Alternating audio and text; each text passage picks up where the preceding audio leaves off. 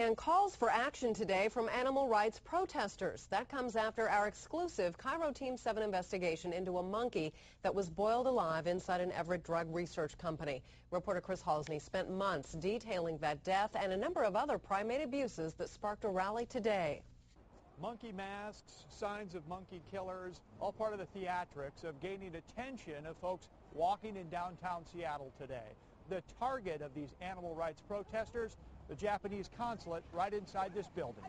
KIRO Team 7 investigators first aired a series of reports earlier this month detailing how a Japanese-owned company called SNBL has been caught repeatedly in documented violations of the Federal Animal Welfare Act. In addition, we went undercover inside the Everett-based laboratory. Along the way, we confirmed that a healthy female macaque monkey was left trapped in her cage last November then run through a 180 degree rack washer, scalded to death. I was appalled.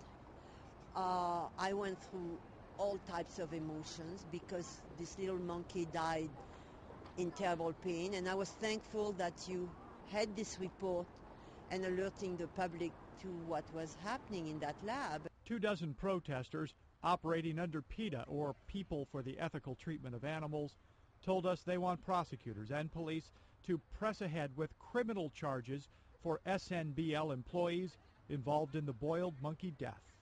If this were a human baby, there would be such an outrage and nobody would stand for it. But because it's a primate, um, people are, they have been allowed to get away with it, and I hope they won't this time.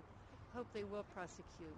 Everett police tell us detectives have started a criminal investigation. They did so after seeing our story.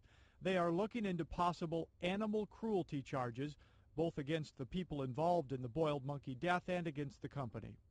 While that process drags on, protesters here hope to put pressure on the Japanese government to, in turn, pressure SNBL to clean up its act. They've really uh, taken a callous opinion towards animals and for a company that has a mission statement that begins with uh, the value of life, it, it, seems wholly inconsistent, and we're hopeful that the CEO will just put us put a stop to it by firing the people who are responsible.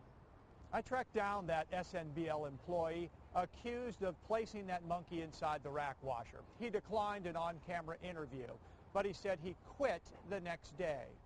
He has not spoken with the police department, but Everett PD says they will be speaking with him soon.